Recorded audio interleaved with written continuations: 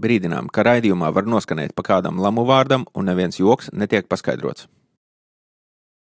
Šajā sērijā dzirdēsiet ar 4247, ja nemaldos, atalgojumu mēnesī ir Misters Nikita Trojānskis.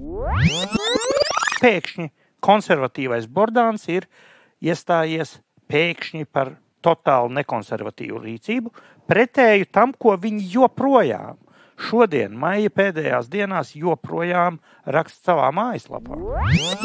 Tad atkal liberālais gals varēs uzgavilēt, ka nacionāļi ar saskaņu ir vienā laivā, un to jau mēs sen zinājām, bet tas tik tagad parādīja savu pretīgo seju. Vienotības vicemērs nav piedāvājis divu miljonu un termiņā. Viņš ir teicis pāris miljonu, un pēc tam nezināmā termiņā uz nezināmiem noteikumiem. Šito vajag atstāt. Un tajā brīdī Ušakovs ar Ameriku teica, ne, ka viņi tagad startēs. Un viņa aiz, paķēra tās vietas, aizbrauca uz Briseli. Dombrovskis palika šeit mūsu pīļdīķī.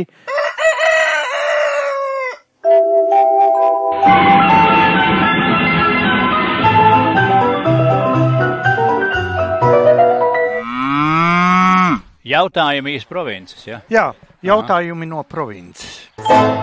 Dzintris un Mārcis dzīvo laukos, bet nevar palikt vienaldzīgi pret valstī notiekošo. 17 nedēļas līdz vēlēšanām. Tāda klusa nedēļa, rēns vakars, skan telefona zvans, kuģižos Dziņdziņ, hello, dzintri. O, oh, sveiks, sveiks. Es arī aizelsies un krācošu no, no nāk laikam lietas virsū paspēju dēļus apsekt. Es tagad ar koku, koku saimniecību nodarbojos zāģēju un tā. Tāds gandarījums. Koku sīk saimniecība droši vien. Ierakuma inženieru tehniskajai nostiprināšanai. Piezvanīsim uz nemazāk miegaino baldonas apkārtnī. Hello, Mārci. Jā, kas sīko daudzās? Kaut ko nezini? Nē, kaut kas jāparunā. Viņš tev bieži zvana, ka viņš nezina. Man vispār cilvēks zvana. Ka viņš kaut ko nezina. Viņš jau vienmēr tēlo, ka viņš visu zina. Kādreiz bija tā, ka tur valdībā bija kādos amatos un tā. Tad man zvanīja tie cilvēki, kuri paši zina. Un teica, lai es noteikti pasaku tur tam, kā ir pareizi. Bet tas nu ir, kur tie gadi apkārt. Tagad ir otrādi. Kā ir otrādi? Man biežāk zvana un jautā, klausies skābeņu zupai spinātus liek klāt vai oh, nē? Oh! Tas ir tas īstais. Tikai es zvanu ar šādiem un līdzīgiem jautājumiem. Parasti. Laiks mainās. Gadi iet. Skābeņa zupa laikam nebūs uh, mūsu šodienas sarunas tēma. Mēs te parunāsim par ogām. Parunāsim par Rīgas ogām, par Rīgas slavenāko ogu ķirsi.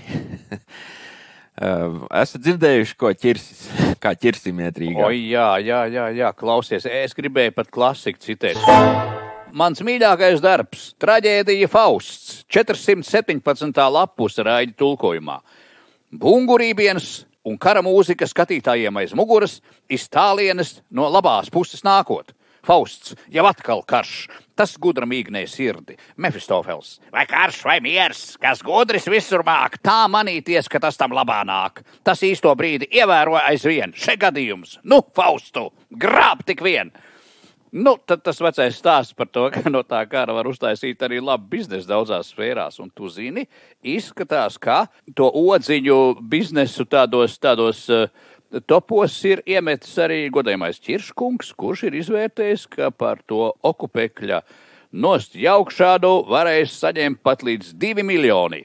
Vienīgais ir, ka nu, viņš nav tā baigi konsekvents tajā lietā. Iedomājies, tā tad 25. maijā tad viņš arī tā saka, ka pieminekļa uzvaras parkā demontāža varētu izmaksāt līdz pat pāris miljoniem eiro. Tātad 25. maijā intervijā televīzijā. 27. maijā, vai tur viņam ir sadēvuši pa kupri vai citiem veselu dēļ, viņš ir uzsvēris sekojošo žurnālistus, informējot, ka pašlaik vēl ir pāragri runāt par to, cik izmaksās pieminekļa nojaukšana. Jo sākotnēji jāizstrādā tur no, projekts, jāsludina iepirkums par nojaukšanu un tādā garā. Viņš tad jau divas dienas iepriekš to visu bija, bija sastāstījis, un tāpēc tā viņš izdomāja, ka tas vēl ir tā kā pāragri. Atgādinu, ka līdz 15. novembrim manai dzimšanas dienai šī lieta ir jānogāž, jādemontē. Bet, bet ķirsim, šitais nav pirmais gadījums, ka viņam, viņam kaut kādas laika cilpas sanāk un visādi stāstu cilpas. Pagaid, viņam nebija vēl kaut kas tur. Nē, bet par kur... šito pašu es pievēršu Jā. uzmanību tam, kā veidojas mūsdienās fake news uh, attiecībā uz to ķiršu teikto. Aizgāja ziņa, ka ķirsis ir teicis, ka nojaukšana maksās divus miljonus. Viņš to nav teicis. Viņam paspruka kā tu pareizi dzintri norādīji, laika cilpā, ka viņš nejauši bija apsteidzis pats savu kustību telplaika izliekuma uh, singulārajā punktā. Viņš bija sevi saticis. Jā, bet viņš neteica divus. Viņš teica pāris. Nu, te jau es tā arī teicu. Iedomājies, ka tevi aicina uz baļķu, un te saka, nu, paķer pāris pudelītes. Un ja tu atnāc ar divām, uz tevi skatīsies vienkārši kā uz kaut kādu nūģi ārprātīgāko. Jo pāris ir metafora. Ar, respektīvi, skaitlis pāris ir. Viņa, Tas ir metaforiski. Divi ir mazākais no pāra. Mazākais ir viens nedrīkst. Nu, ja pārīti, nu, paķer pārīti. Jā, jā, Tas nozīmē, ne, nemaz, nu, divus, četrus, sešus. Nu, divus ir minimums. Jā, jā, jā, jā. Tas nenozīmē, eksakti divas vienības kaut kā. Un Kirša kungs šeit acīm redzami ir metaforiski izteicies. Parasti latvieši jau bieži saka tā pāris trīs. Ja? Nu, tā. Viņš nerādīja pirkstiem tos, to, to ko, ko, kā to veci sauc, kurš bija nu, ap, ap, apbūris to nabaga Kosoviču. Jā, jā, un viņš jau zina, ka tie, tie cipari ir jārāda aptuveni, un miljonus sauc klāt. Ja viņš jau to Kosoviču to ievies, to modu zina un kaut kā respektē, jo, lai arī viņš vicemērs, bet tas tur frakcijas lielākās priekšstāvis un tā.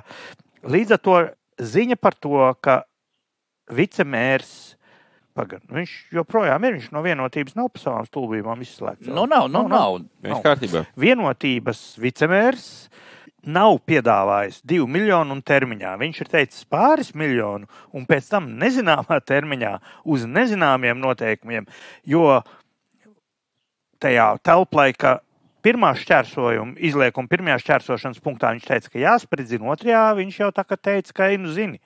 Vai nu tā kā jāspridzina, vai jānespridzina, vai varbūt pats nokritīs. Jā, vai... Jāspīdzina. tas vienalga būs jāsludina konkurss, vai kāds neuztaisīs to piedāvājumu vēl lētāk par visvaldes armu, kurš, kā zināms, ir piedāvājies pa nulli.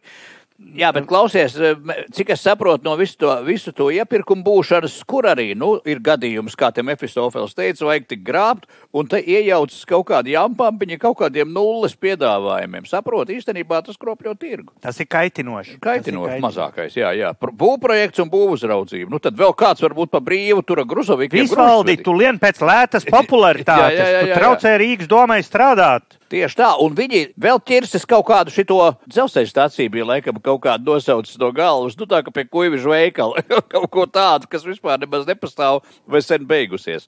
Bet viņš laikam ir tas runas vīrs, jo redzi, es esmu pamanījis, nu, Stačis pats par sevi, bet tie divi, nu, vēl tur divi vicemēri, tā Linda Ozola no JKP un tad ir Smiltēns. Smiltēns tas tikai raud par to, ka atkal viņš kaut kur nav ticis klāt, nokavējis vai citi ne tā sapratuši, un tā sieviete tā nerunā nemaz. Tad viņi laikam deleģējuši tam vildim, lai viņš visu ko stāsta. Viņam labi sanāk, nu tā. Nē, es, es nedomāju, ka tur ir tik smalka koordinācija. Vienkārši ir gadījies tā ka Rīgas doma ir koalīcija. Lai to koalīciju vajadz, varētu sastiķēt, tā kā viņi bija nākuši ar domu pārtraukt bezjēdzīgo saskaņas naudas tērēšanu, tad viņi ievieca jēdzīgo naudas tērēšanu. Vicemēru amatus katram biroju, plus viņa iedeva apmaksātu biroju katram uh, komisijas vadītājam komitejas. Komitejas. Jā, jā, nu, tā starpība tur jau ir miljonos. Viņiem viss ir kārtībā, viņiem vairāk neko nevajag. Tieši šie divi bija starp citu tie, kuriem bija jārunā desmitā maija sakarā. Jo Linda Vītola atbild par drošības Ozola, Mārcis, Ozola. Tā tad vicemēre Linda Vītola. Vītola. Šito vajag atstāt. Vārdu Ozola. A, kas ir pa vainu? Nē, nevajag atstāt. Nē, tā nevajag. Tā tad vicemēre Ozola atbild par drošību un vicemērs Smiltēns par starptautiskām lietām. Proti, tieši par to, kas notika 9. un 10. maijā, un ko šie divi vicemēri vicemēroja, viņi teica, zīltiņai bija tāda dziesma. Buļ, buļ, buļ, buļ. Jā. Un līdz ar to šeit vicemēris Čirsis, kurš neizmantos šo te metodisko norādījumu pamolčiš za umnuju sēģošu, vai ne, ko vicemēreni Ozola lieto lielākoties šo metodi. Un viņš izpildās telplaika izkritumā, pirms tam saka, kas notiks pēc tam, kas pirms tam. Un te uz pamanītā izrunāšanās par Baltazāru staciju man šķitās sevišķi saprotama, jo orientieristiem Baltazāra stacija nav abstrakta vieta. Ka jābrauc līdz Baltazāra stacijai un tālāk pa marķējumu, es tādu rīkojumu nopublicētu laikrakstā sports, kā saka, atceros kopš 69. gada. Ja? Tā bija ikdiena. Pie Baltazara tur bija jā, jāpiebrauc un jāmēģina nolikt mašīnu, pie kam nepiebraukšana, nenolikšana. Tur nekad nav bijis viegli, jo tur ir pliks smilts, kaut kāda drusku izbraukāts dzelzceļa stīgas mala. Nekā cita tur nekad nav bijis. Nu, jā, bet mums, mums ir tagad, mums tagad jānonāk atpakaļ pie tā viļņa. Vicemēra ķirša verbālā caureja bezgalīgā par to, ka uz Alfu var braukt pa šoseju, piebrauc pie Baltazara stacijas, kas ir gandrīz neiespējami bez džipa. Un tad nolikt tur izbūvētajā stāvlaukumā, kurš atrodas tikai Kirša kunga redzēts tajā telplaika izkritumā pēc 60 gadiem. Tur var būt viņš tur ir bijis. Vai, vai citur uz planētas, citas kaut kur? Jā, vai arī varbūt viņš ir bijis tur, kur viņa šitie draugi uz Marsa ir abels sastādījuši, un tur ir piebrauktu kaut kāda. Bet tur nekā tāda. Tur nav bijis un nebūs nekāda stāvlaukuma. Jūs saprotat, ķirsis jau nav kaut kāds tur KPV kandidāts, kas var runāt, ko gribu, jo stulbāk runā, jo vairāk vēlētājiem patīk. Viņš ir vienotības, tas ir tās racionālās. Vienotība sevi pozicionē kā visās šajās koalīcijās racionālo spēku. Tur ir trakie nacionāļi, kas tādi, un tad ir attīstībnieki, kur tur nespēja piedalīties tādēļ, ka viņiem jāzog vien, vienā gabalā. Ja? Nu, un tad ļoti atbildīgais kariņš ar ārkārtīgi harizmātisko reiru, tad nu, viņi tur glābi to situāciju. Nu, tā ir tā viņa pozīcija. Un viņu Jampampiņš ir pieklājīgākais, ko tādu ķirs var pateikt. Un viņš jau nav tā, ka viņš atbildētu par muzejiem un kaut ko pēkšņi izsakās par tramvajiem. Viņš ir atbildīgs par satiksmi. Viņš bija tas, kurš teica, ka sniegs Rīgā nav jātīra, jo sniegs izkrīt reizes desmit gados. Un to viņš teica ne pēc pirmā sniegputeņa, bet pēc otrā. Toties pirms 3 un 4. tur viņš telpā cilpā neizkrita. Reizes desmit gados tā, tās četras normas ir izkritušas. Baltazara stacijā vajag kāpt vilcienā, kur tur nav, noliekot pirms tam mašīnu stāvvietā, kuras tur arī nav. Bet pagaidiet, viņš arī, viņš arī, man liekas, tādu kritiku, nu, viņš tā kā nedzird, jo nu, viņš ir no tiem, kurš, kurš nu, vienkārši man radies iespējas, ka viņš tā kā pareizi domā. Un, ja kāds saka, nu, klausies, Vilni, nu, nemūli tik daudz, tev galīgi nesanāk. Viņš drīzāk uzskatīs, ka tie ir nu, kaut kādi aģenti vai nu, kaut kādi iefiltrējušies, kas grib viņu di, di, dirs, diskreditēt. Jā. Ar to es gribu teikt tikai, ka līdz vēlēšanām mēs ne to vienu vēl no viņa dzirdēsim. Man liekas, ka viņš nenorimsies. Tur, tur auj man vārdu sārā.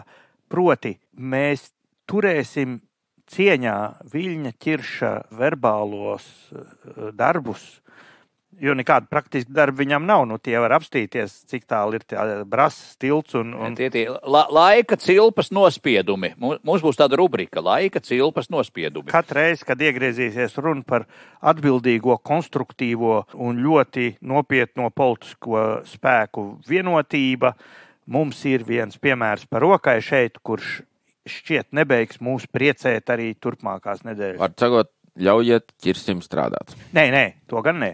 Bet lai runā. Ļauj, ļaujiet runāt. Tā, nu, lai runā. Jā, ļaujiet runāt. Ļaujiet runāt. Mē, mēs esam brīvi cilvēki, brīvā valstī, un lai ķiršs runā, lai runā no sirds. Jā, jā, jā, lai demokrātija, lai preses brīvība un mūldēšanas brīvība nebeidz sākties. Jā. Un nopērciet viņam kāds kalendāru, lūdzu.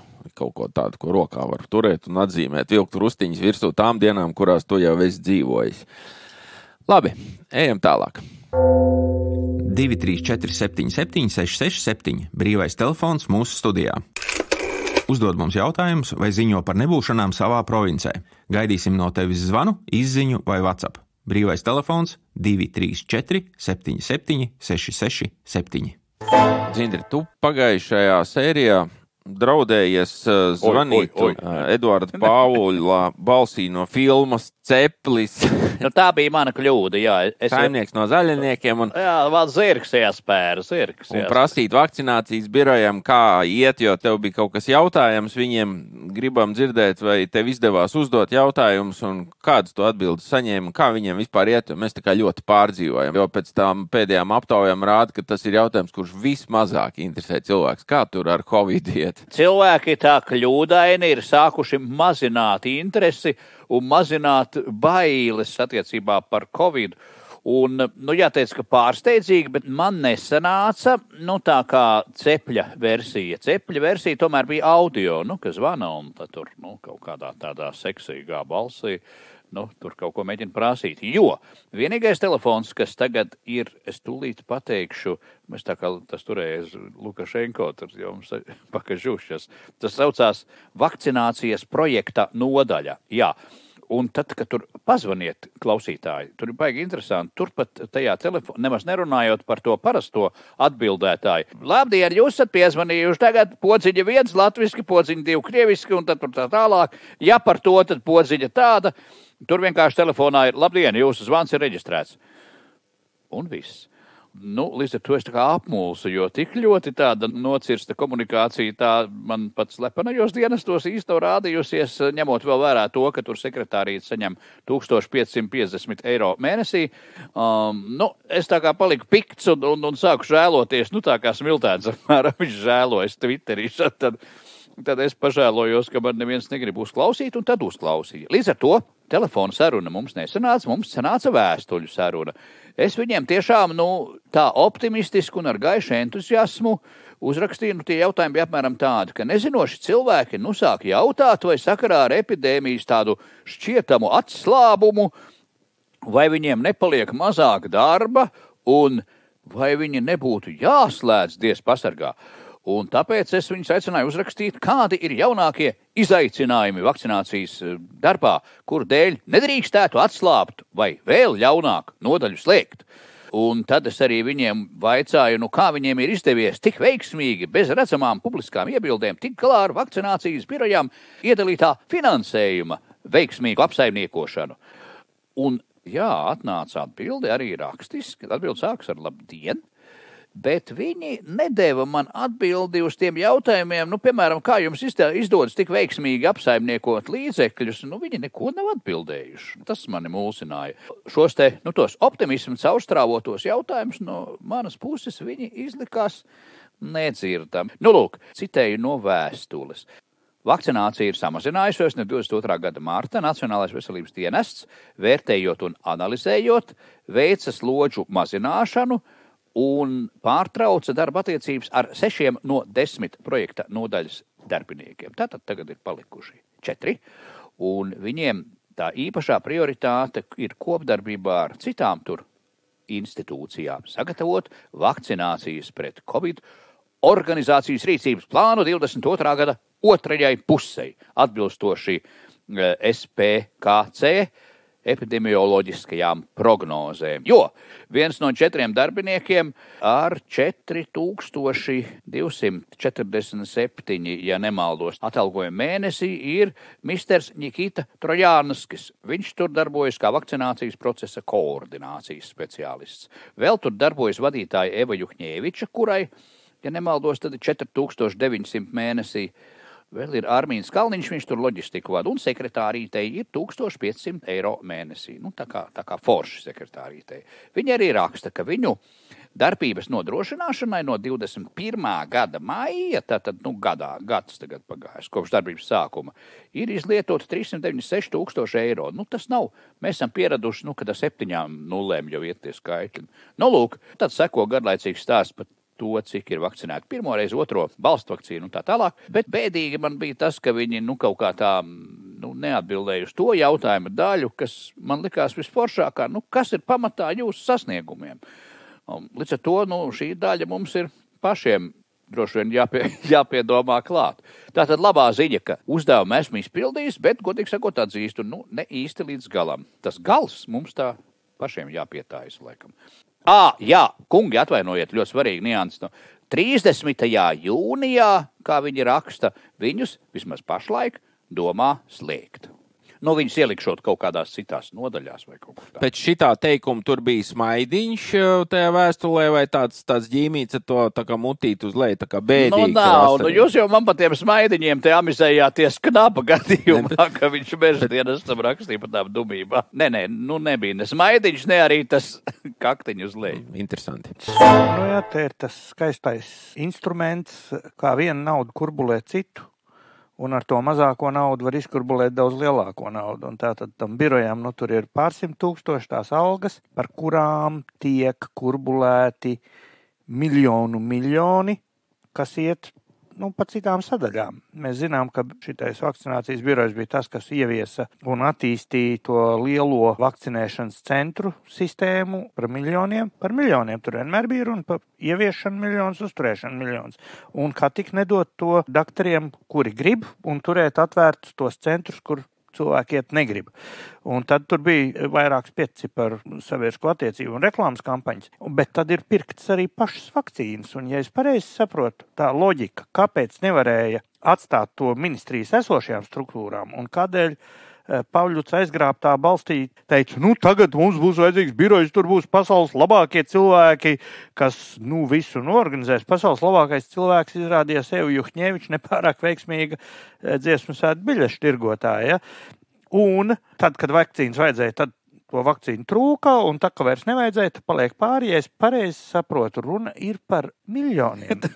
tas ir nākamais jautājums, kur viņas tagad ir jebkurā gadījumā tas mērogs vai 10 miljoni vai cik tātad tas pleciņš ir, tu paņem 200 tūkstošu aldziņām, ieskaitot histēriskiem pusidiotam Trajanskim, ja viņam ticētu, mēs jau te visi būtu nosprāguši. Ja? Tas tas, pa ko viņš tos 4000 tur saņem, ja? par cilvēku baidēšanu, kam vairs gan pārāk netic neviens. Bet viņi ārpus ministrijas parastā darba ritma tika izveidoti, lai nebūtu šādi kļūdaini nopirkt 10 miljonu vērts vakcīnas.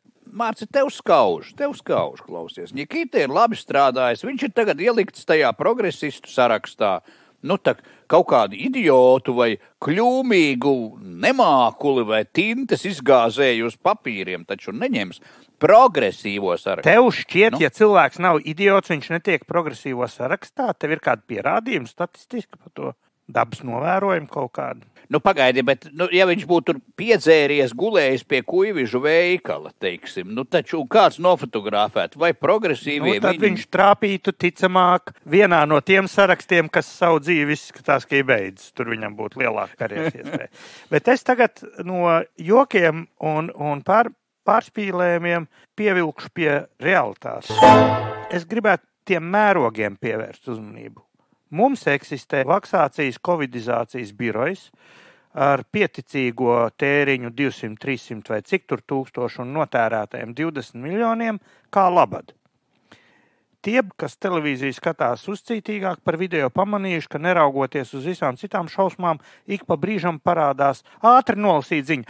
Tur tas un tas ziņo, ka tik un tik ir konstatēti gadījumi, un ir mīris, mīris viens cilvēks vecumā no 110 līdz 120 gadiem. Nu, reizēm divi cilvēki, ja? reizēm divi pa dienu. Desmit nedēļā sanāk apmēram no Covid mirušo. Un uz šī fona tiek uzturēta speciāla struktūra. Es izdrukāju 21. gada janvārī, augustā mirušo iedzīvotāju nāves cēloņu sadalījums pa galvenajām cēloņu grupām. Ņemsim maiju, piemēram. Tātad tie covidiskie tur varētu būt kādi 40, 50 mēnesī, varētu būt pa maksimumu. Salīdzināšanai vardarbība un tīšs paskaitējums kopā tas ir pašnāvības un noslepkavot cilvēki ir ap 30 bez kāda covid. Ļaundabīgi audzēji tuvāk 500, pārējie audzēji plus mīnus 500. Asinsrites slimības pa mēnešiem sauc no janvāra 1779, 1412, 1394. Tā vidēji 1400. Tas ir pa mēnešiem. Mums nedēļā mirušo skaits ir diezgan stabils ap 600 cilvēku. No tiem ar covid statistiski mirst mazāk vai salīdzināms lielums kā no pašnāvībām. Nu, redzam, Un veselības ministri bet Pavļuta vadībā nodarbojas ar neiedomājamu, cinisku, pašslavinošu nelietību. Un tas ir tas, ko es ieteiktu jau atcerēties, tā kā, kad nāks tuvāk vēlēšanas. tev, tev, tev nav taisnība, Mārci. Īstenībā, un tā arī tika teikts eh, attīstībai par, kas viņiem bija tāda tā pirmsvēlēšanu kampaņas reklamēšanas diena vai kaut kas tamlīdzīgs. Nu, tur jau arī teikts, ka šis skaitlis ir tik maziņš tādēļ, ka tik veiksmīgi ir darbojies vakcinācijas birojs vai vakcinācijas nodaļa. Jo, kā viņi paši saka, apvienības darbība pēc viņu pašu teiktā līdz šim, es domāju, attīstībai par, esot vērtējama kā vienkārši lieliski panākumiem pilni četri gadi. Lūk, tā kā šie mazie skaitlīši, tas jau droši vien ir šī vakcinācijas, šīs vakcinācijas nodaļas. Ne, nevis tas, ka vasarā vienkārši tas izbeidzās kā tajās valstīs, kur vakcinē, un tajās, kur nevakcinē. Nē, Nē, nē, to, to provokātori to ir uh, tiražējuši. Bet pie Jā. šī paša tad jau es savu vērtējumu piesviedīšu. Es ilgstoši domāju, ka atparisti drausmīgi viltīgi un laiž muļķi un ņirgājas pa publiku. Līdzīgi kā to darīja kādreiz Latvijas ceļš, bija izcils ar to. Viņi zināja, kā ir īstenībā. Viņi tur bija gudri cilvēki. Viņi zināja, kā ir īstenībā, un tā viņi gāja televizoru priekšā un laida nu, tādu. Dundukiem, dundukiem viņi runāja tā kā jārunā. Viņi labi zināja, šitais ir čūskas, tā ir pa īstam, un, un jāmaina, kas jāmaina. Tā atšķirība ir, ka atparisti, un ir tīpaši paristi, ir tīpaši paristi, izskatās, ka viņi ir sliktāki pa to līniju, ka viņi laiž čūgunu, un viņi domā, ka viss ir kārtībā. Un tā ir milzu bīstamība valstī. Vai arī ļoti, ļoti liels talants, ko var, tikai, ko var tikai retais aktieris tā iejusties lomā, ka tu jau būtībā esi šī loma. Nē, es neticu. Ir tāds piemērs, klasisks. Bija Vācijā angļu spions, kurš tika paņemts vācu radio par propagandas to balsi. Un viņš lasīja vairākus gadus tās gebelsiskās ziņas angliski. Viņš beigās kļuva par itīgu nacionālu sociālistu. Viņa beigās notiesāja jau kā naciķi, lai arī viņš bija angļu spions. jo Viņš tik ilgi tās blēņas bija lasījis, kamēr pats noticējis. Bet viņš bija ļoti inteliģents cilvēks, atšķirībā no tiem, ar ko mums šeit ir darīšana. Ja tev patīk jautājums no provinces un brīvu cilvēku brīvas sarunas, tad sniedz palīdzīgu roku raidījumu veidotājiem. Nenoskaud 5 vai 10 eiro, lai arī turpmāk Mārcis un Zintris katru trešdienu var jandalēt un figurēt par to, kas svarīgs mūsu provincē. Pogu, ko spiest, lai pārsūtītu mums naudu, atradīs katras sērijas aprakstā, bet tiem, kuriem rocība neļauj piestiķēt, nepārdzīvojat, raidījums arī turpmāk būs dzirdams ikvienam. Mums ir mīļi visi mūsu klausītāji, bet īpaši tie, kuri nav skopi.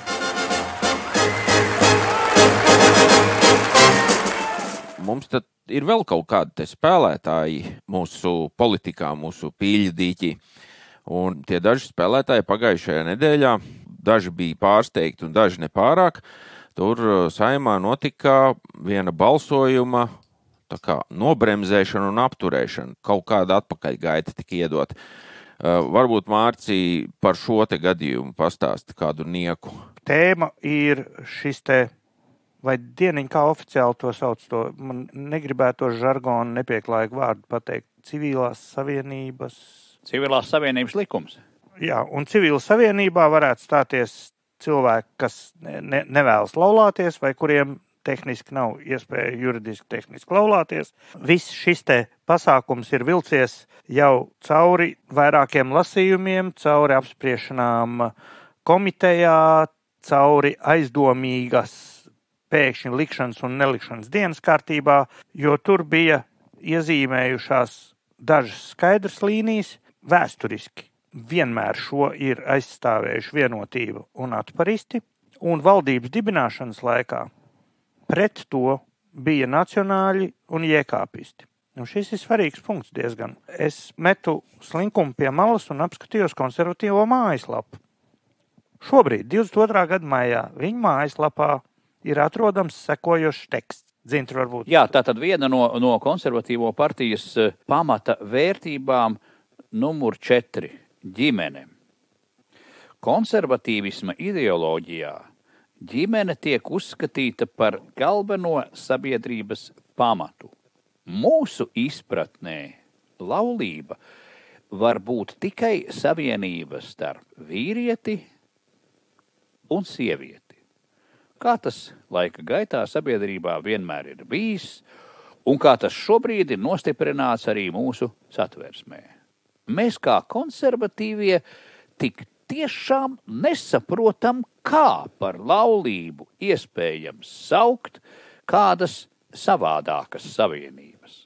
Tā kā vīriešu un sievietes savienību ir iespējams reģistrēt laulībā, uzskatām, ka tāpēc nav vajadzīgs īpašs partnerattiecību institūts. Tāpēc neuzskatām, ka turpinot attiecināt laulības jēdzienu uz savienību starp vīrieti un sievieti, kaut kādā mērā tiktu aizskartas seksuālo minoritāšu cilvēktiesības, jo jau šobrīd, nu, tobrīd, kad rakstīja šo te, šo te dokumentu, jau šobrīd visi sadzīviskie jautājumi vienzimuma pāriem ir atrisināti citu likumu ietvaros.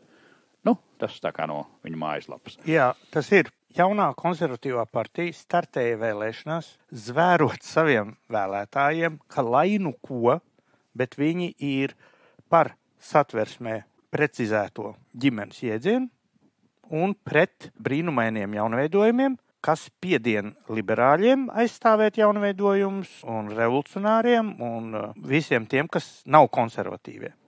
Un tā arī valdību veidojot, bija skaidrs, ka par šo jautājumu būs nu, liela viedokļu nesakritība. Un atšķirībā no tādām klasiskās demokrātijas zemēm, kur koalīcijas tiek izveidotas tā, lai nekad nav jābalso vienam pret otru koalīcijas partneriem. Un, teiksim, Vācu koalīcijas tiek taisīts uz 800 lapusēm koalīcijas līgums. Tas ir, ir sarakstīts viss, ko drīkst darīt, un līdz to neko citu nedrīkst darīt, kas tur ir paredzēts, lai nebūtu jābalso vieniem pret otru. Pie mums tas īsti iespējams nav, bet vismaz kaut cik demokrātijas principiem atbilstīgs ir tas, kā tika formulēta uh, šī nesakritība koalīcijas līgumā. Un koalīcijas līgumā svarīgi punkti ir 2,7 un 2,8. Tikai un vienīgi pamatojoties uz sadarbības partneru vienprātības principu, var izlemt jautājumus par grozījumiem satversmē, grozījumiem pilsonības likumā, kā arī tādus grozījumus likumos, kas regulē valodas lietojumu, pasliktinot latviešu valodas situāciju vai ir pretrunā ar valsts eiroatlantiskā kursa nemainību. Tās pēc būtības ir veto tiesības ka, ja reiz tiek prasīta vienprātība, tad katrs no valdības veidojošiem spēkiem var teikt, nē, šitais neiet cauri, mēs to nedrīkstam balsot. Un tad ir divi astoņi punkts, kur ir aprakstīts tomēr, kur drīkst balsot dažādi. Sadarbības partneri respektē citu, citu tiesības, izvirzīt likumprojektus un tiesības balsot atšķirīgi šādos jautājumos. 281 pilsonības piešķiršana Latvijā dzimušiem nepilngadīgiem nepilsoņu bērniem, 282 nelaulāto dzīves biedru tiesību paplašināšana, 283 kopdzīves likums, 284 holokaustā rezultātā zudušo ebreju kopienu īpašumu, 285 Eiropas padomas konvencija par vardarbību, nu tā saucamā Stambuls konvencija. Tas ir no sākta gala šie pieci punkti ir jau bijuši skaidri, ka tur vienprātības koalīcijā nav, un koalīcijas partneri drīkst virzīt uz balsojumu kaut ko nevienprātības kārtā. Šitais viss bija iemontēts valdības veidošanas brīdī jau iekšā. Tikai tur bija tā atšķirība, ka vienotība un atparisti bija par visu kaut ko šito, un konservatīvie un nacionāļi bija pret. Līdz brīdim, kad brīnumainā un man neizskaidromā kārtā partijas līderis Bordāns apmeta kažoku, nu, kā neizsacīt. Tas ir. Viņš vēl nodibināja darba grupu Tieslietu ministrijā, kurā apsprieda, kā tur tagad rīkoties, un šī darba grupa nāca klajā ar demaršu, ka darba grupa nav bijusi informēta par Tieslietu ministrijas nodomu virzīt civilās savienības likuma projektu izskatīšanai sējumā. Un tā virzība darba grupā nav nekādā veidā vai formā atbalstīta. Tas ir šī darba grupa, kurai tas bija jādara, kategoriski norobežojas no tā produkta. Šis civilās savienības likuma projekts ir tīrs Bordāna uzmetiens. Līdzsvars valdībā šajā punktā ir tātad trīs ir par, pēkšņi konservatīvais Bordāns ir iestājies pēkšņi par totāli nekonservatīvu rīcību, pretēju tam, ko viņi joprojām šodien, maija pēdējās dienās, joprojām raksta savā mājaslapā. Un visādi aktīvi nodarbojas ar, nu, kā lai tā uzmanīgāk saka, deputātu pārliecināšanu ja, ar jebkurām dažādām mums grūti izsekojamām metodēm, kā nu viņiem būtu jāmaina savs viedoklis par balsojumu. Un šis vairs nav stāsts par civilās savienības likuma projektu. Šis ir stāsts par tā saucamās jaunās, tā saucamās konservatīvās, tā saucamās partijas līdera Bordāna apbrīnojamo bezkompromisu nelietību. Ja. Es tā saprotu, tas balsojums vajadzētu būt, ka šonadēļ viņš ies vaļā, ja viņš uz 2. jūniju nolikts, ja nemaldos. Ja. Balsojums visticamāk, ka būs. Kā tur izveidosies situācija ir pietiekoši neskaidrs, jo nav skaidra lielākās frakcijas nostāja. Saskaņas frakcijas līderi ir nākuši klajā ar paziņojumiem, kurus var traktēt dažādi. No vienas puses viņi teica tā, ka sakarā ar to, ka tur ir tās jocīgās balsu maiņas un viss kaut kas tur ir nesaprotams un vedina domāt, ka, ka tur ne viss ir pareizi, ka viņi norobežojas no šī jautājuma un nepiedalīsies. Un te nu ir interesanta situācija. Jautājums par nepiedalīsies kā. Atgādināšu mūsu raidījumu pirms cik kādu mēnešu vai kaut kā tā. Es centos atgādināt mūsu klausītājiem, ar ko ir atšķirīga atturēšanās balsojumā no nepiedalīšanās balsojumā. Drīksts atkārtošu vēl vienreiz. Ja ir balsojums par, lai būtu spēkā, ir vajadzīgs vairākums. Ir jāpiedalās saimnes vairākumam, vismaz 50 cilvēkiem. Tas ir jābūt pusē klāt. Un tad ar vairākumu jānobalso. Minimums 26 balsis. Ja kāds atturas balsojot, viņa tehniskais rezultāts ir tas pats, kas pret. Jo viņš nebalso par.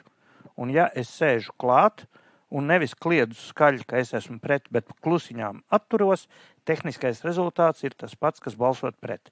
Ja saskaņa nepiedalās tādā veidā, ka viņa atturas, tad tas iznāktu balsojums pret, visticamāk, ka tas likumprojekts tad cauri netiek.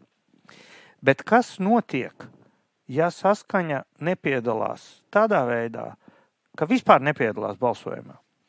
Tas nozīmē, ka tiek samazināts kvorums. Un tajā iepriekšējā raidījumā mēs detalizēti par to runājam. Es atkārtošu to kārtulu īsumā.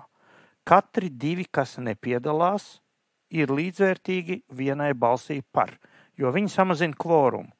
Ja reiz tu neesi klāt, tad tiem, kas balso par, pietiek ar mazāku balsu skaitu, lai dabūtu caur to, ko viņam vajag. Un šādu ideju nepieļaut rezultātu sasniegšanu caur kvoruma kā to žargonā sauc, noraušanu, izmēģināja nacionāļi iepriekšējā balsošanas tūrē. Viņi centās paši nepiedalīties un citus pierunāt nepiedalīties ar domu, ka zālē nebūs 50 cilvēku. Un, ja būtu bijis 49, tad balsojums vienkārši nevarētu notikt. Tas nebūtu spēkā. Un viņi skaitīja, skaitīja un nesaskaitīja. Bija nevis 49, bet 51 mazākais varētu būt vēsturiski vispār gadījums, ka kaut kas tāds. Un tad no 51 pilnīgi pietiek 26, ka nobalso, bet tur gandrīz visi balsoja par. Tajā otrajā balsojumā pietika balsu. Tā tad vai šajā gadījumā nacionāļi šo konservatīvo nodevību centīsies apkarot caur kvorumu noraušanu? Tad viss ir saskaņas rokās ja saskaņa nolemj, ka viņi arī piedalās kvoruma noraušanā, tad tur pietrūks 3, 4, 5 balsis, kas ir menedžējuma lieta. Kas ir, manuprāt, ļoti riskanta taktika, bet, kā lai saka, nav man darīšana. Ja saskaņa piedalās un atturas, tad tas pats būtu jādara arī nacionāļiem, un tad tas likuma projekts neiet cauri. Jā, bet ko par šo visu mūsu klusējošais vairākums un uh, jau pagājušos raidījumos sevi kā spožu politisko prognozētāju parādījušais dzintris saka, kāds ir tavs redzējums? Redzējums, man, man tas redzējums ir vairāk tāds, ka tas saskaņas vēlētājs nu, kopumā ir arī konservatīvs. Respektīvi, viņam kaut kādas aizdomīgas civilās savienības starp večiem, vienu vai, vai dāmām, vienu vai sazinu, kādas tur vēl nav tā kā pieņemamas un saprotamas. Līdz ar to es tur vēl ar vienu nēs, man jāpieraksta par to mārča, ka, kas tur par un atturās, bet es to saprotu, ka, manuprāt, tad saskaņa varēs rīkoties tā, lai pirmkārt varētu sist sev uz mazajiem pleciņiem, un otrkārt, nu pārsvarā taču viņu vēlētājs tomēr tā kā ir pie tiem konservatoriem. Nu, tas iznāk, es tulkošu dzintra teikto, ka viņiem būtu tad jāatturās un jāstāst, ka viņi ar savu atturību nav ļaušies nacionāļu tur visādām spēlītēm un blēdībām un balsu pirkšanām dievs pats. Exactly. Viņi nekad tā. Un tad kopā tur visādā raibā kompānijā un saudabīgā, un tad atkal liberālais gals varēs uzgavilēt, ka nacionāļi ar saskaņu jā. ir vienā laivā, jā. un tur to jau iznāk. mēs sen zinājām, bet tas tik tagad parādīja savu pretīgo jā, seju. Tur tā iznāk, ja tā iznāk. Un vēl, protams, ir variants, ka saskaņa ir kombinējis, kamēr pārkombinējis, jo viņi tomēr ļoti grūtā situācijā ir nonākuši dēļ viss tā, kas pasaulē notiek. Protams, te par to dzintra pieminētos saskaņas vēlētāja konservatīvismu es gribētu teikt, ka tas nav gluži eiropeiskais konservatīvisms. Tomēr jārēķinās, ka Lēvenis no tā klasiskā Ušakova atbalstītāju elektorāta joprojām dzīvo Krievu mēdīju telpā. Un tā nav gluži konservatīva, tā ir atklāti homofobiska vispār kas iespējams ir atstājis daudz ilgstošāku iespaidu uz nu, tā saucamo uz Ušakovu elektorātu, kuru iespējams ar kaut kādām kustībām pašreizējā saskaņas vadība vēlētu sagrā, vēlētos sagrābt atpakaļ, neatdot to asajiem konkurentiem, proti, Krievu Savienībai un progresīvajiem. Šajā gadījumā sakritīs Kufaika ciema homofoba un intelektuāla inteliģenta Eiropas konservatora viedoklis par likumprojektu tālāko gaitu, kuros kā grib. Tā tas ir. Tas visiem būtu jāsaprot, ka tā sakritība ir virzībā uz rezultātu un nevis motivācijas dēļ. Nu, skaidrs, ka priekšvēlēšanu laikā ir ļoti ērti sasēdināt savus pretiniekus tādās laivās un parādīt pirkstu rekā tie tur sēž ar tiem vienā laivā. Bet kā tad sanāk tā vēlēšanās nesēdēt vienā laivā? Tas ir vienīgais JKP motīvs. Viņi tā kā vēlās nesēdēt tajā laivā. Kāds tur tas mērķis, ko viņi tur dabūs šitā, šitādā veidā? Man ir hipotēze, ka JKP savu vājo elektorālo rezultātu dēļ vienkārši JKP spica grābj grābi, ko var pagrābt. Ja viņi cīnītos nopietni par uh, savu elektorātu, tad viņi šitā nedarītu. Visticamāk, tas ir dīls. Es nebrīnītos, ka tas ir saistīts ar amatpersonu vēlēšanām, kur pēkšņi Bordānam viss gāja vienkārši kā pa sviestu. Un tā bija cena, ko viņš personīgi maksā. Un savukārt uh, par brīnumaino Jūra Juraša pazušanu Ukraiņas stepēs mēs vēl pabrīnīsimies un varbūt kaut ko pat uzzināsim vēl līdz vēlēšanām.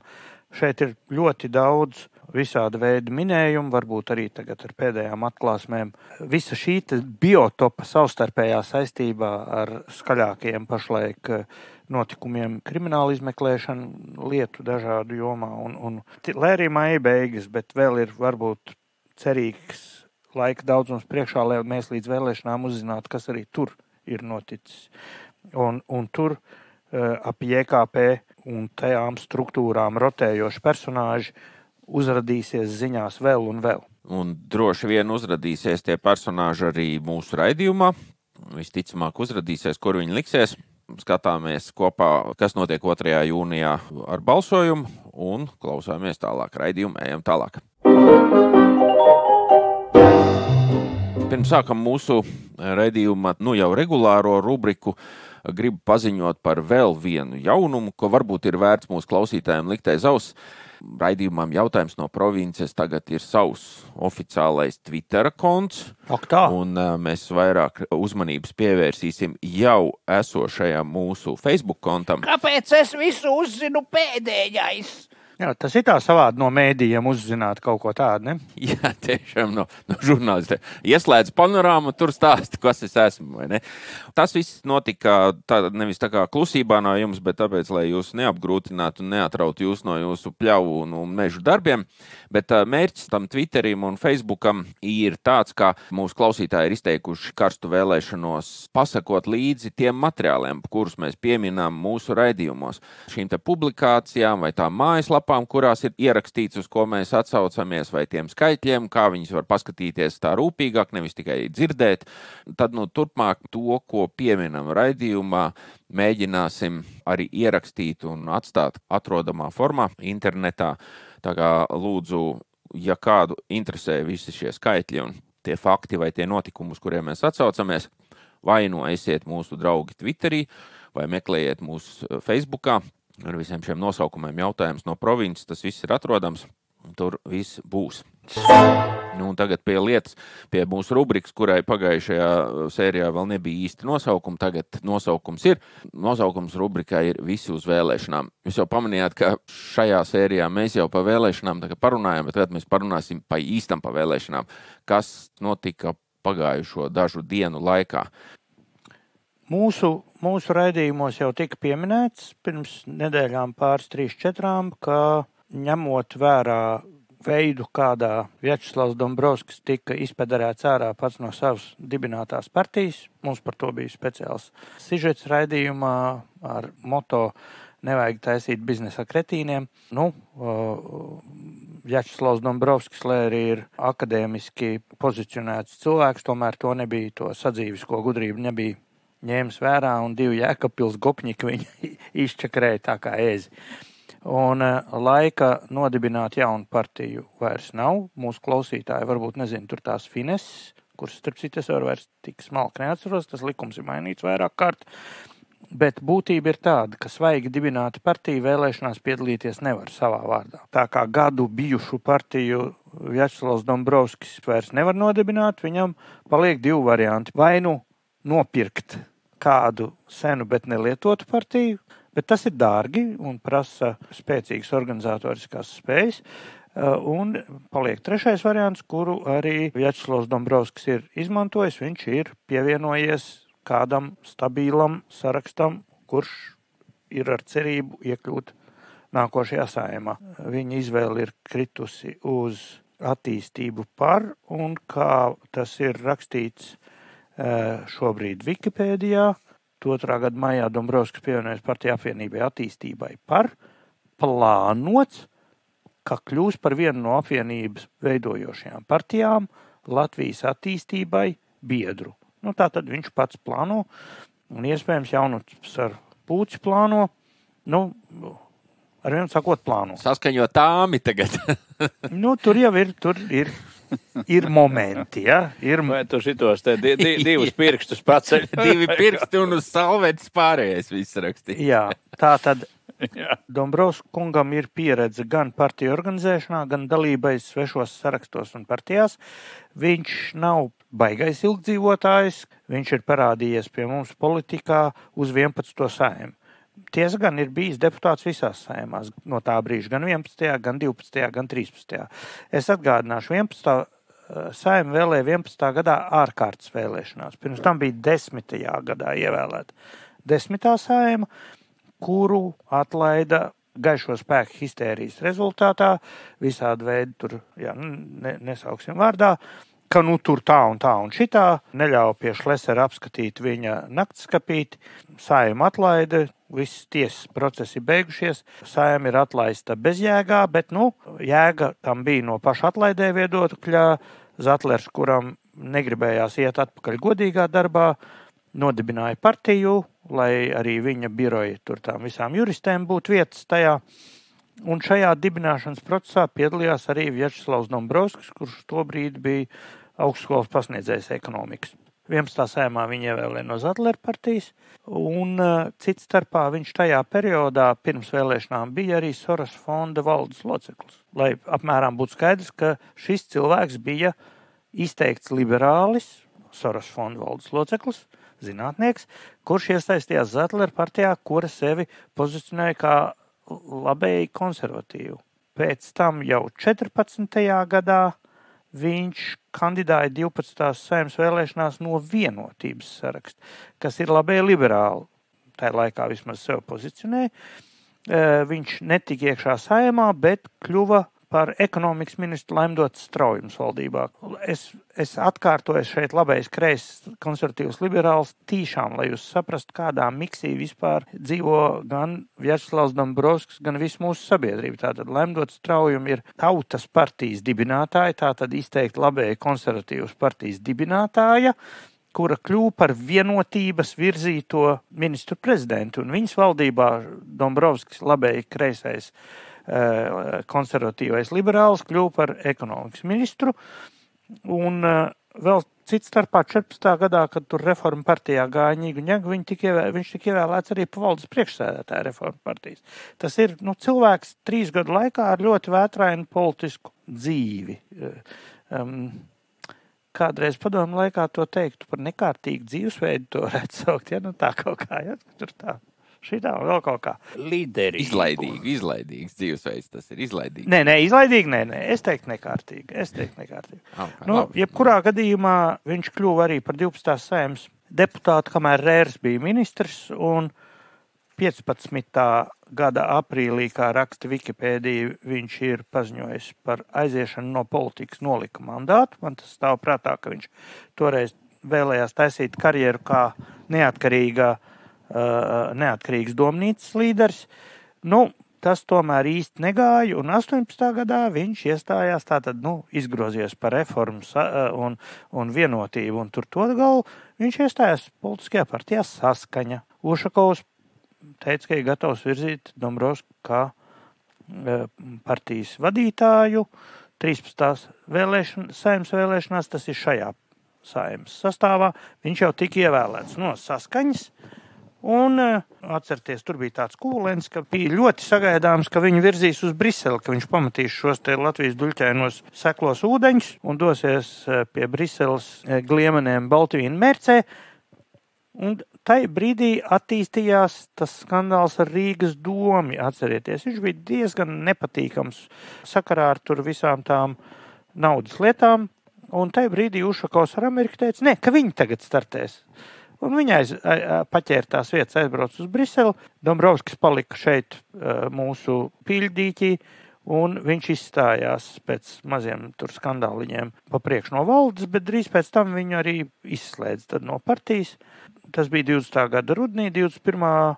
gada vasarā viņš dibināja partiju Republiku, tas ir savu partiju, kurai tad ķēra klāt šos un tos un visu kaut kos, ieskaitot Jēkabpils Gopņikus.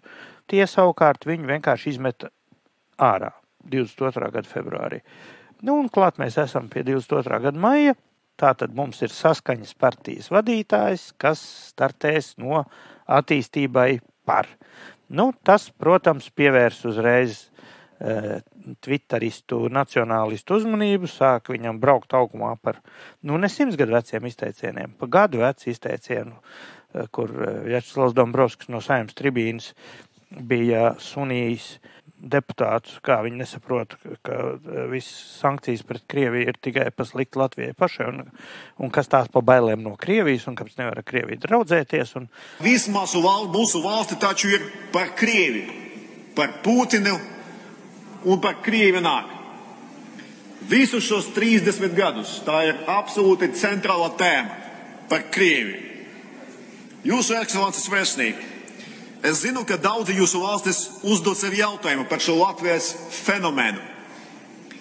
Kāpēc tā tik ļoti ienest savu lielo austrumu kaimiņu? Jo racionāla izskaidrojuma tam nav.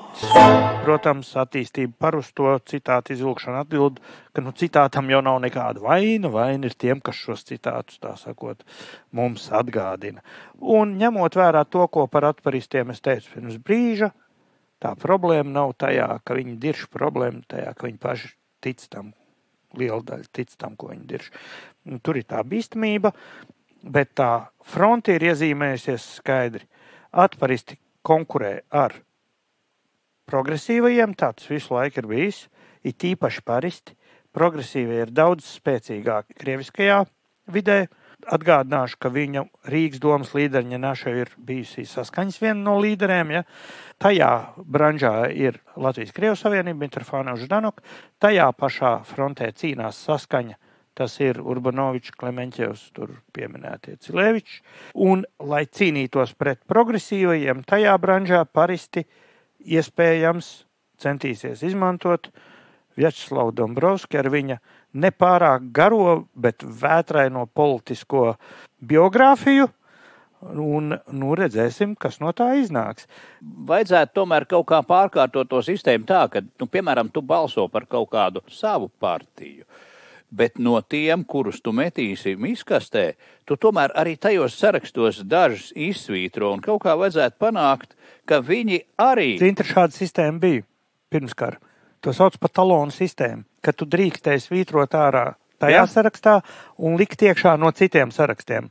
To sauc par talonu sistēmu. Jā, bet tu varēji likt iekšā no citiem, bet es pie viena nobalsoju par kaut kādu vienu, bet atparists sarakstā izsvītroju Vjačeslavu un ieliek to tur viskastē, bet tomēr viņam kaut kāds mazs mīnus. Tieši tāpat kā, ja tu gribi būt mājas varmāk un sist sievu, tev ir jāprecās. Nu, tu nevari vienkārši aprecēt vienu sievu un sist citu. Ja? Nu, Nekas nav pilnīgs. Bet, zini, viņš ir, eh, viņš ir arī uh, interesanti. Būs, protams, ka kaut kāda daļa tā saucamā inteliģentā, es neteicu lojālā, es teicu inteliģentā, Krieva elektorāta aizstaigās līdz Vjačeslavam, jo, nu, kaut kā viņš to politisko kosmētiku tomēr tā kā rusiņi laikam māk pielietot, lai radītu zināmu šārmu, bet man šķiet, ka viņš atkal tiks aizvainots vai kaut kādā citādā veidā nebūs apmierināts par savu status quo, un nav izslēgts, ka viņš drīz vien atkal kaut kur aizdāncos. Bet, nu, es nezinu, man tā vismaz šķiet, ka viņš tomēr kaut kā savā būtībā ir naivs cilvēks, nu, daudzi viņu vienkārši paņem un uzmet. Jo te viņš arī cerējis, es skatos, viņš cer, jā, tas ir letā rakstīts, ka attīstībai pārpievienosies arī deputāte Evija Papule. Abi sadarbojas kopā saimā. Oh.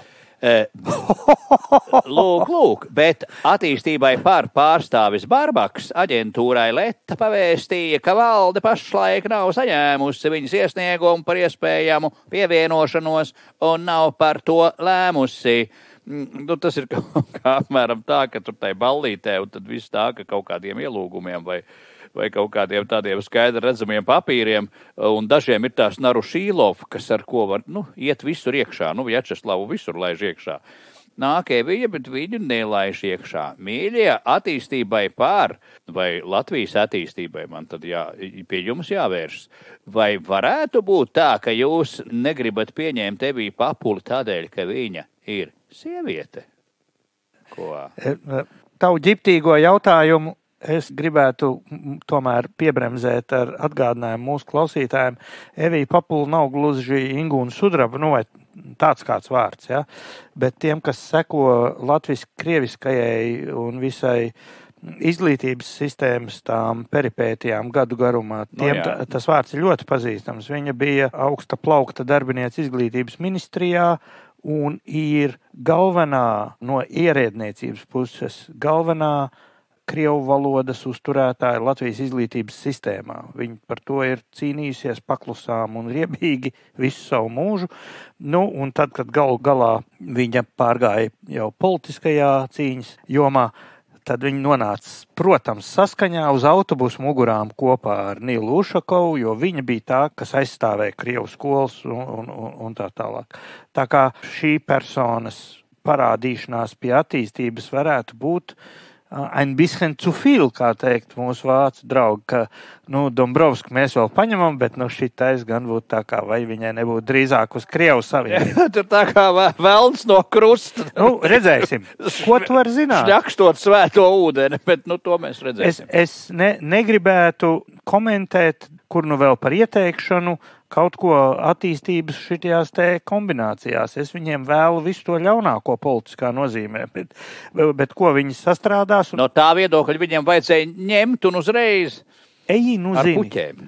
Tad tas jautājums jau vēl tur ir tāds, eh, redz, ne, nesen bija tāda ar lielu brēkšanu daļa no tās partijas, kas saucas par, no tās daļas, kas saucas par. Te viņiem bija tas kongress vai kaut kā tā lielā sanākšana, un tad viņiem tur tā kā lāgā nepatīk, vārdā nesauktā jūra pūcis kaut kādas aizdomīgas šterles, un tur viena daļa stājās ārā, jo vadoņi nolēma, ka tomēr tā apvienība tā kā turpināsies, un tas bija tāds, tāds baigais moments.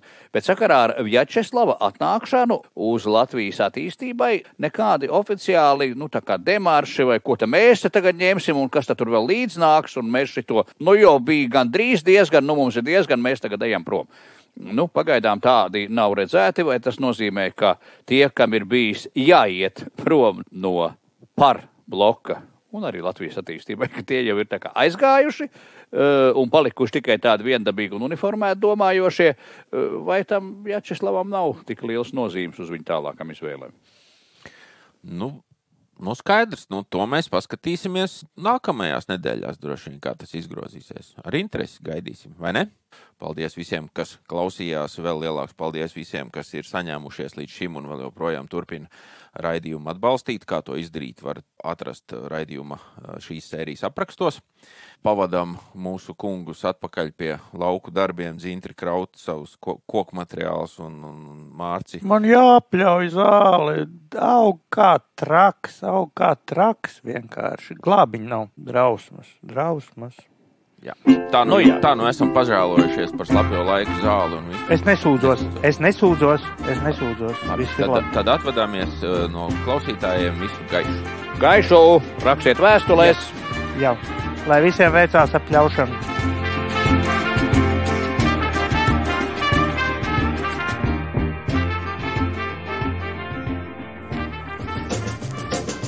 Ja tev patīk jautājums no provinces un brīvu cilvēku brīvas sarunas, tad sniedz palīdzīgu roku raidījumu veidotājiem.